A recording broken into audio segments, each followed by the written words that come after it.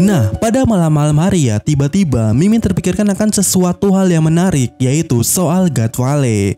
Di mana tiba-tiba terpikirkan kalau God daripada kata God Valley itu merupakan singkatan. Jadi, God itu merupakan G O D. Di mana G untuk gigante atau ras raksasa, O untuk Ors atau Oni, D untuk Dela Luna. Yap, Mimin berpikir God Valley sebenarnya merupakan lembah atau tempat tempat dari perkumpulan bangsa-bangsa atau suku-suku yang bekerja sama dalam suatu tujuan tertentu. Jadi, Pulau God Valley dihuni dari berbagai suku seperti Gigantes dari Elbaf, Ors, dan De La Luna, di mana mereka berkumpul menciptakan suatu era yang sangat luar biasa dan ini mungkin menjadi suatu alasan kenapa Rock di Zebek datang ke God Valley. Tapi sebelum kita bicara soal alasan Rock kenapa dia ke God Valley, sebelum sebelumnya, pasti kalian bertanya-tanya apa itu De La Luna.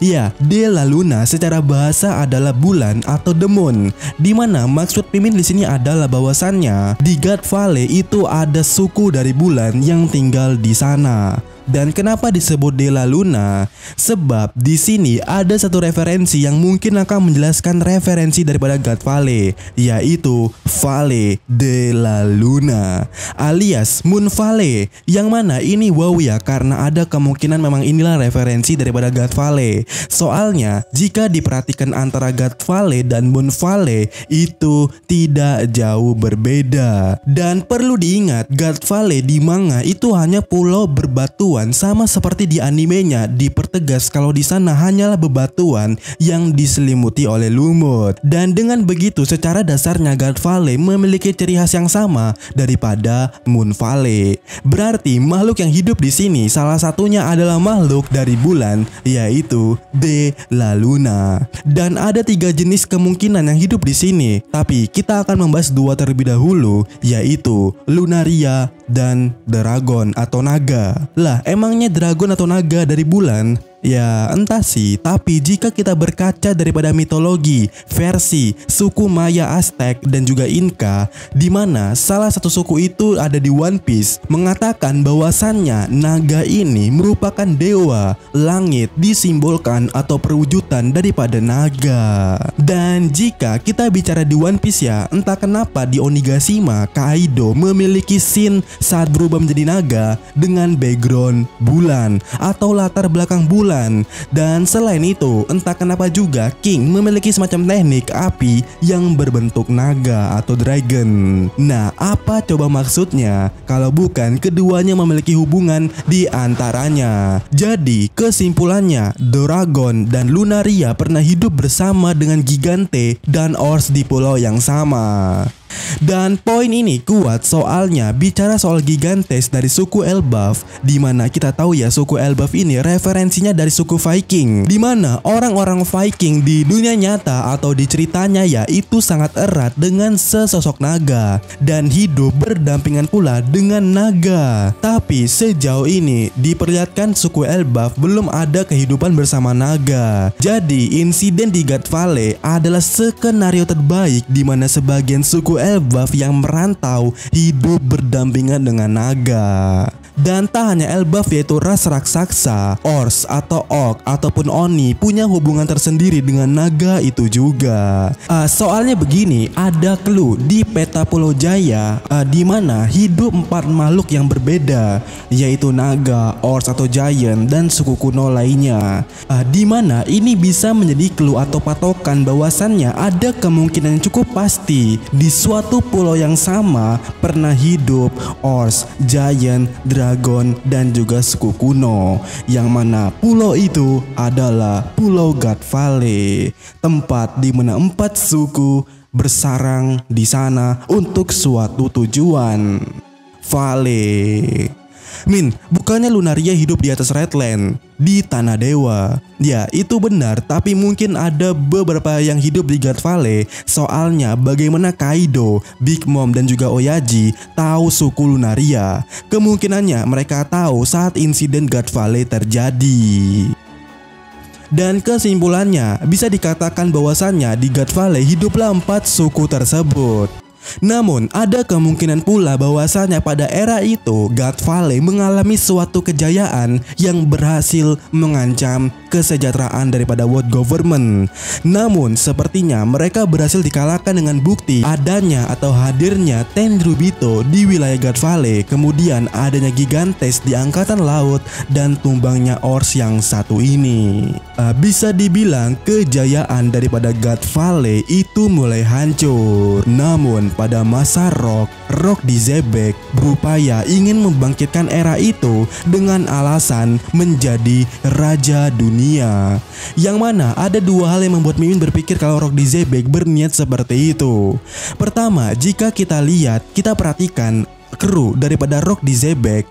Rock di Zebek berupaya membuat kru dengan anggota GOD, di mana Uors atau Oni untuk Kaido, Gigante untuk satu karakter yang masih misterius yaitu Ochoku atau Wang Zi. Uh, walaupun sebenarnya belum diketahui secara pasti uh, seperti apa wujudnya, tapi banyak yang menduga kalau inilah sosoknya dengan alasan referensi di dunia nyata dan karena juga ada kru Rocks lainnya yang ada di sini yaitu Kapten John.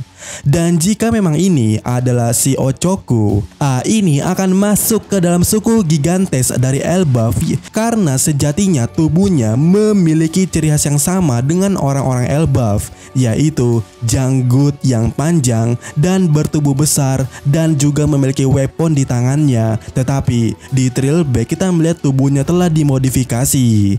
Jadi di sini tidak terlihat seperti giant. Di mana dari sini aja sudah membuat curiga kita bahwasannya Rox ingin berniat mengumpulkan empat Soko itu. Dan yang membuat Min makin curiga adalah pada chapter 1049 yang mana Shirohige mengatakan kalau Rock di Zebek ah, sudah lama menginginkan Kaido. Berarti ini memang sudah direncanakan kalau Rock di Zebek mengumpulkan empat suku itu.